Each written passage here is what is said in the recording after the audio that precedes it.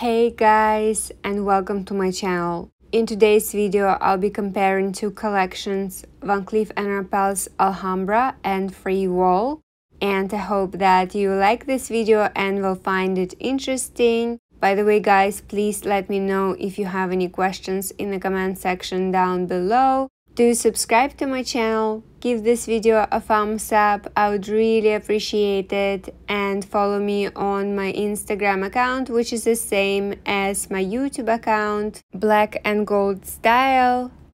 Please also consider checking out my other playlists. I posted quite a few videos about Cartier, Van Cleef & Arpels, Bulgari, Rolex, luxury tips and mistakes, Dior, jewelry, weekly vlogs, style and fashion, Chanel bags, luxury shopping vlogs, beauty products, and travel videos. I will start with Frivole, which is relatively a new collection.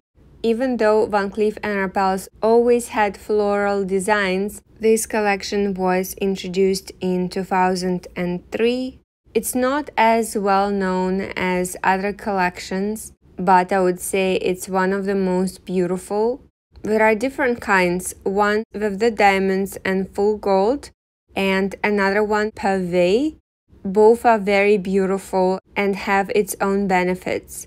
This collection is so feminine and so stunning Whenever I wear my Frivole jewelry, I get so many compliments every single time, but not many people realize that it's Van Cleef & Arpels. I would say that this style is definitely more discreet whenever you want to wear the brand but don't want every single person to know that it's from Van Cleef & Arpels. And that's why I love this design. In the future, I'm planning to add additional items from this collection I really love the pavé look, but I can't decide about the color of gold. All of them are really gorgeous and this collection comes in pink gold, yellow gold and white gold. But I'm thinking maybe I should stick to yellow gold because it's so beautiful. I featured this in my wishlist vlog, which I will add for you guys in the description box below in case you want to check it out. I often get questions whether the Frivole earrings in full gold or the ring get scratched easily. I have to say the earrings don't get any scratches, even when I use my headphones, which is quite often. However, the ring is definitely a lot easier to scratch if you aren't careful. Although after these three years I don't have many scratches on it, and also I use Jules Rouge cloth material to remove the scratches from my ring. I will add the link to the description box below in case you want to check it out. This material only works on yellow gold. I also used it on my Cartier Love bracelet and my Juste un Clou. It definitely helps me to keep my jewelry looking like new. When it comes to pavé jewelry, I have to say that it's still quite sensitive, even though you cannot see scratches easily, but you have to be careful with the edges, you can still dent them. So something to be mindful of.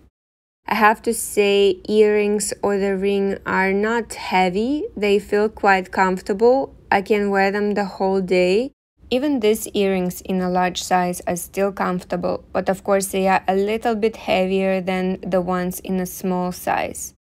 By the way, I previously posted a review video of the Frivole earrings and I will link it down for you guys in case you want to have a look. What I love about the Frivole collection that it's perfectly fine to expose it to water or chemicals because it's a full gold nothing will happen to it. I wear my ring very often and I tend to wash my hands all the time and I do use hand sanitizers or wet wipes and it still looks brand new. It's also very easy to clean them.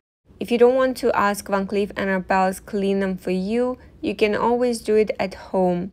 Even if you don't have a special liquid, you can put them in a hot water and add the dishwashing detergent and leave it to soak for a couple of hours and it will be clean and shiny. It's so easy to look after. I would say that Frivole collection is definitely a hassle free and I absolutely love it, especially in yellow gold. Let's move on to Alhambra, which is absolutely gorgeous design. I'm so in love with it. This collection is older than Frivole. It was created in 1968 and it's pretty well known now. And interestingly enough, it was not that popular before. I think over the past 5 7 years, it gained more popularity. These beautiful motifs are a symbol of luck, and I would say that the bracelet is probably one of the most popular and single motif pendant is very popular as well.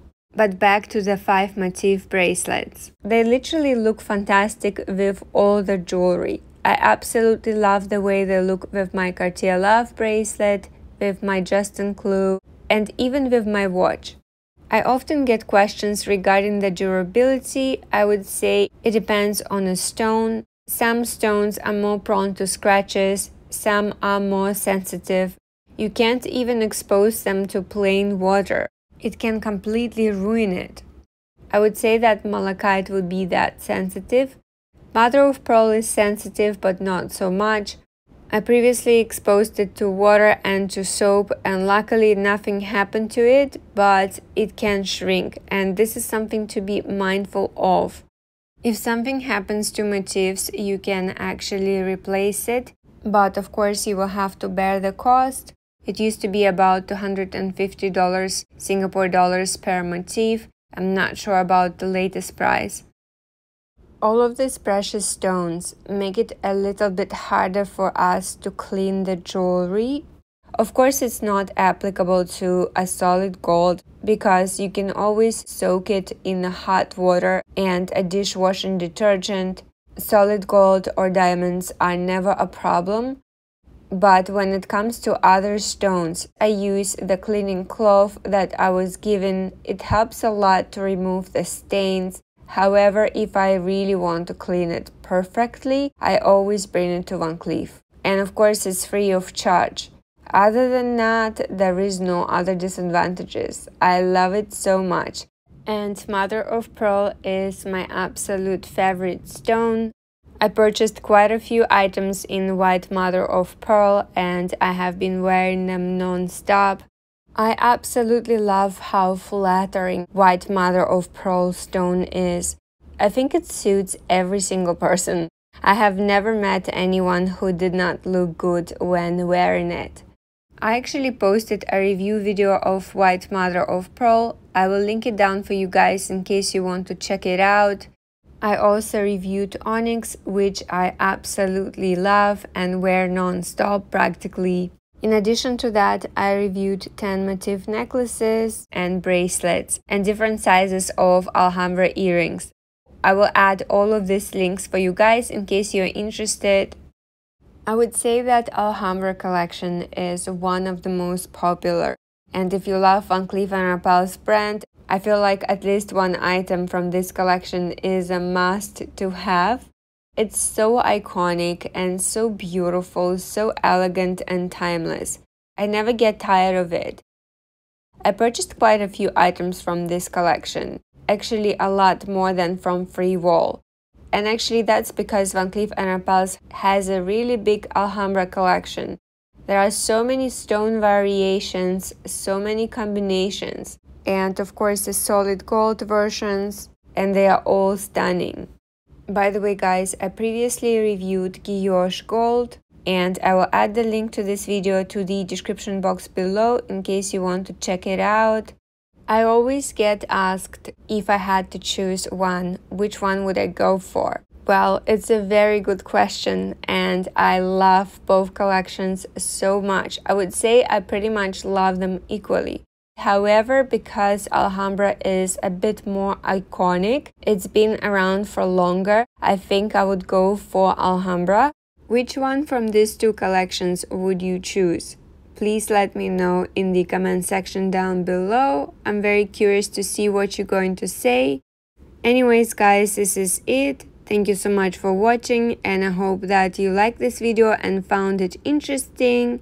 Please let me know if you have any questions in the comment section down below. Do subscribe to my channel, give this video a thumbs up, I would really appreciate it. And follow me on my Instagram account, which is the same as my YouTube account, Black and Gold Style. Have a great day, and I'll see you guys next time. Bye!